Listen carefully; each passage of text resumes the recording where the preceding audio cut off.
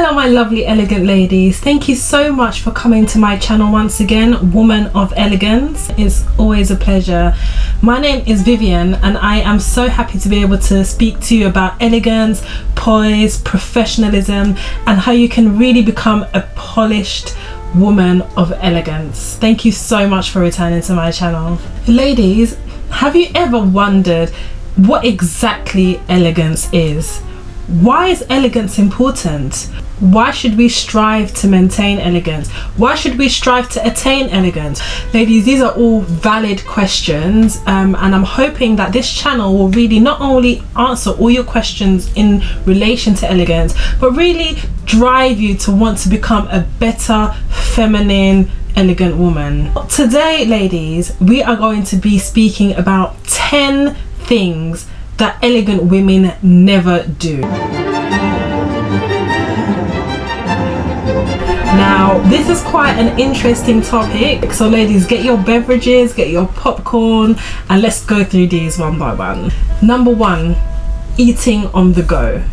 Now, ladies, we live in such a fast paced society now, and there is just so many reasons why people will eat on the go, you know, get to work on time, need to get to that meeting quickly. There's just so many reasons why. But remember, being elegant is not the norm. It's not something that women of today readily strive to do. So, aside from being unhealthy, it doesn't allow you to digest your food properly. Imagine the scenario walking down the street, a bag of Nando's or whatever it is in one hand, chicken wing in the other hand, and running and eating on the go and then meeting someone on your way it's just it's so tacky it's something that you should not do. Aside from probably getting food all over your clothing as well, you might have to greet someone unaware, smile at them, you would have food in your teeth. So ladies, please try and avoid this. Um, an alternative is to perhaps find you know a suitable place to have your lunch. Maybe it could even be a park bench or you know seated area in a restaurant. Or if it's just not convenient for you take your food into the office. And if you're feeling super peckish perhaps you could have you know a bag of nuts or something discreet that you can nibble on your way to having your meal. But it's really not an elegant thing to be seen eating on the go. So ladies please refrain from doing that. Two blowing your nose at the dinner table now ladies, I have addressed a few things um, in relation to dining and elegance in a previous video, but I didn't go into much depth. And I'll be addressing everything in relation to dining etiquette on a separate video. However, it's something to bear in mind. If you have a runny nose, you must get up and address the situation in the ladies' room. Do not, under any circumstances, blow your nose or cough up phlegm. I mean, I've seen it done on a few occasions and it really just puts you off your meal. It dampens the environment. If you really want to be seen as elegant and polished, it's so important to be able to pay attention to details. So please just excuse yourself, blow your nose. And if you find that, you know, you've got a running nose and you've got a terrible cold, perhaps it'll be better not to turn up to dinner. But if it's something that has caught you unawares please address it away from everybody else. And that's the hygienic and thoughtful thing to do. Trolling on social media.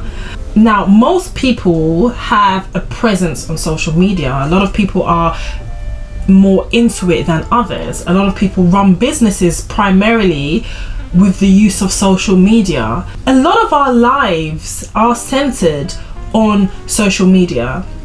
However, ladies, the use of social media could actually make you or break you. How many times have we heard of situations where a celebrity or a public figure have had unsavory tweets reappear later on in their careers and it destroys them? It's so important to be refined and polished with your use of social media. It's really important to be mindful of what you say, of the energy that you project on social media, because not only is this not a ladylike thing to do, but it's likely to come and bite you in the future. Please don't underestimate the power of social media. If you are going to be using it use it wisely and use it to really portray the image that you want everyone to to view and that you want to reflect. You need to be more ladylike you need to be more sophisticated and everything that you post should reverberate that. So it's really important to keep that in mind also.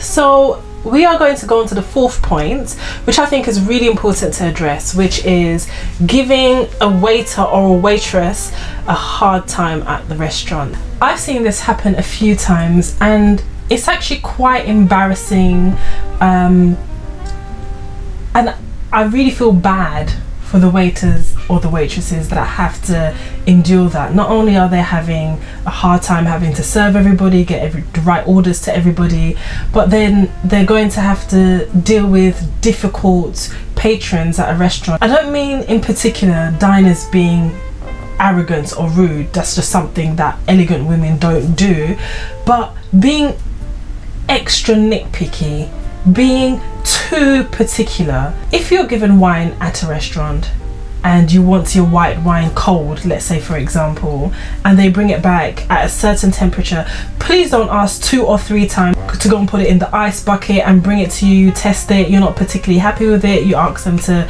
do it again. Don't make it a point to be too particular and annoying.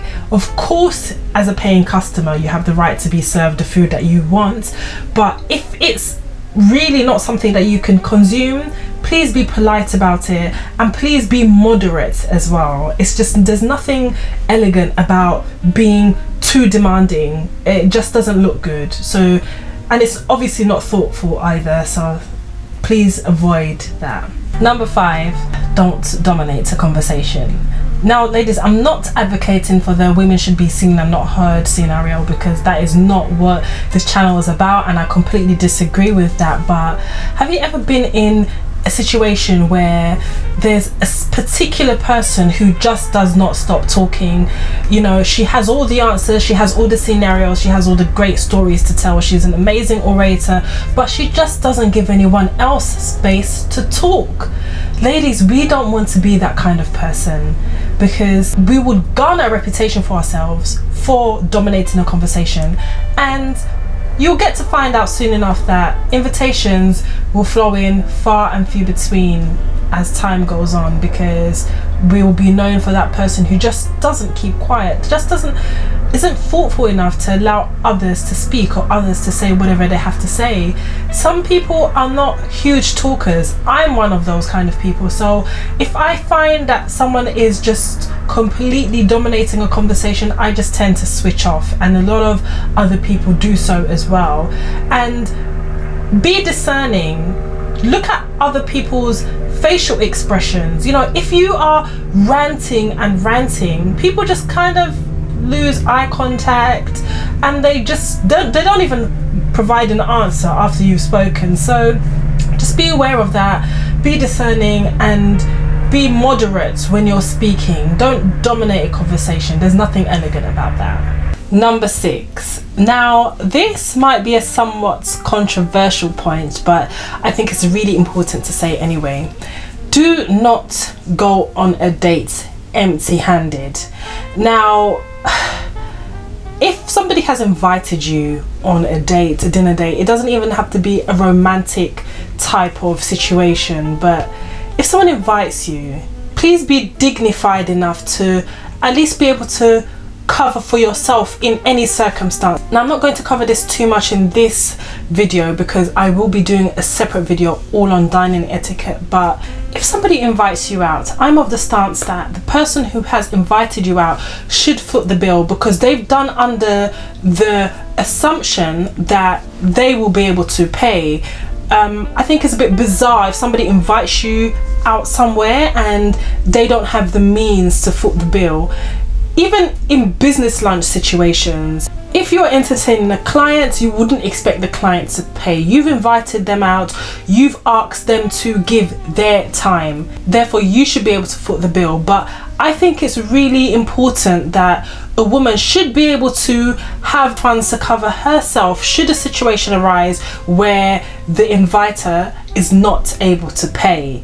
Um, it becomes very awkward if for whatever reason he's not able to pay and you're sitting there discussing the bill the waiter's standing there waiting um, it just becomes an awkward situation. But a professional dignified elegant woman would want to avoid those kind of situations at all costs and definitely not bring any commotion within her realm. So it's really important for her to be able to cover herself should that kind of situation arise. And if you feel like it's been done purposely then ladies you know what kind of person you're dealing with. But sometimes inevitably some situations can arise where you probably would have to foot the bill. And it's really important to be able to do that because you just don't want to be sitting there. He's feeling awkward you're feeling awkward and it's just not a really pleasant situation to be in. So just be wary. Just have your own just in case.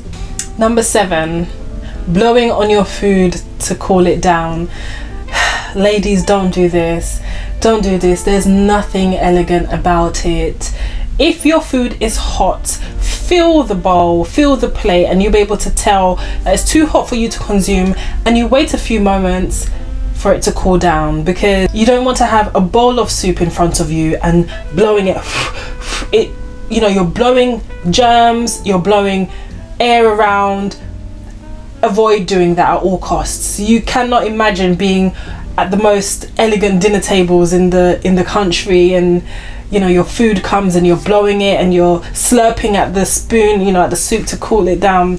Don't do that. Wait a few moments. It's even elegant to wait just before diving into food anyway. But just wait a few moments allow the food to cool and then enjoy it afterwards definitely no blowing please. Eight wearing fake designer items.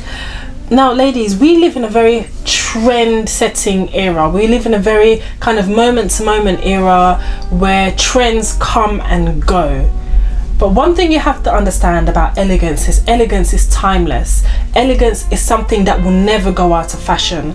We don't want to stress ourselves to have the latest designer items just to keep up with the Joneses, just to keep up with a passing fad or a trend. It's really important to refrain from wearing fake designer items and there are two specific reasons for this. Number one, to the trained eye it is very very easy to spot designer items that are fake and that are real. And I think it's better that elegant women should really invest their time and their finances into buying items that will last you a long time rather than buying you designer items that will fall apart quite frankly. Um, if somebody who is knowledgeable in that area sees you wearing fake designer items, you won't be taken seriously.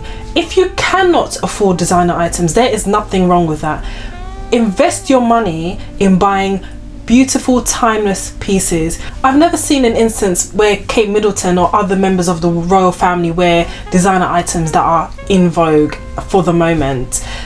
I've seen Kate Middleton for example wearing high street brands such as LK Bennett, Hobbs, Self Portrait. These are beautiful brands that utilize exceptional fabrics to make beautiful garments. So rather than spend money buying designer items that would not generate you any money if you wanted to sell them. It's better to you know spend your money buying beautiful high street items and you look beautifully elegant and you look very polished.